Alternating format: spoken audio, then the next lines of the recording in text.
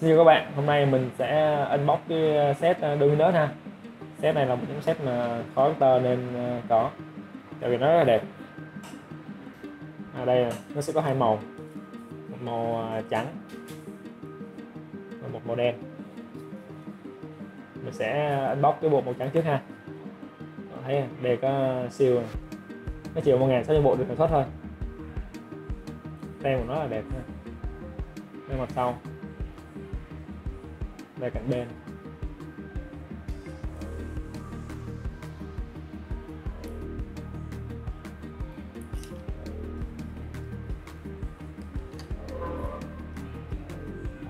Chúng ta có gì? Chúng ta có một tấm quảng cáo này. À tấm quảng cáo. Nó rất là đẹp ha. Đây là một trong những set mà co kẹt ờ, được vẽ rất là đẹp.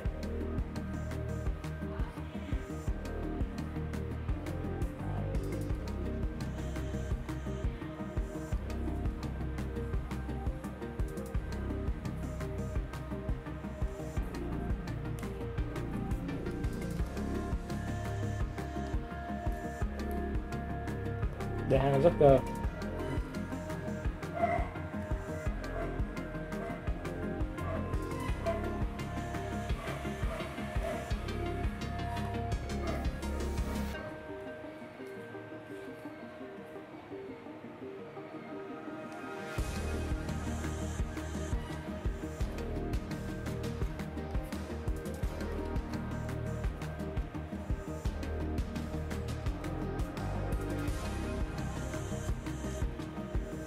đây, cái mắt này. giấy này là khá dày ha. Đây khá dày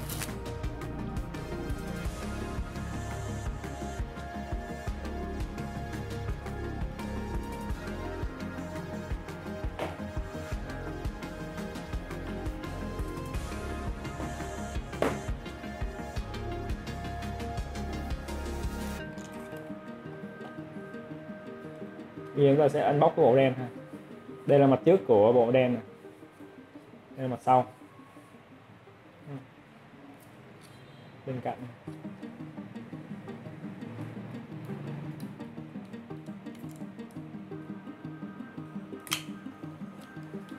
hộp làm rất là đẹp ha. Có thấy, các bạn thấy này.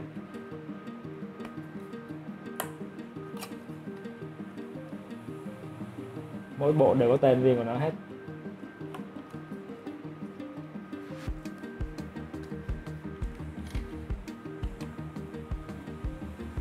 Đây là bách bát này. mặt trước bộ này thì à, màu đen hết ha. Rất là ngầu.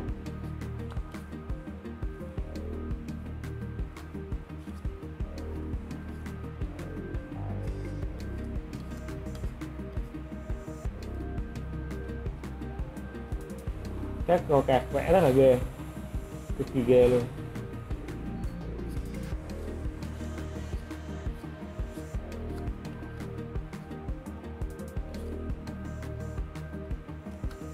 Zucker.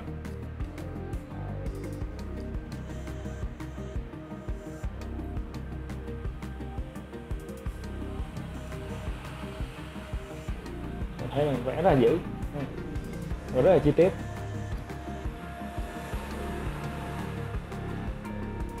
Sắp tới nó sẽ ra Vol 2 thì chưa biết thế nào ha. Nhưng mà bộ này rất là đẹp.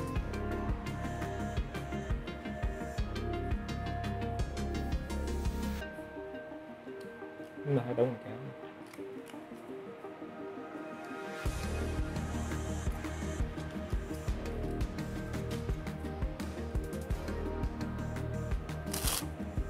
vậy rất là dài ha.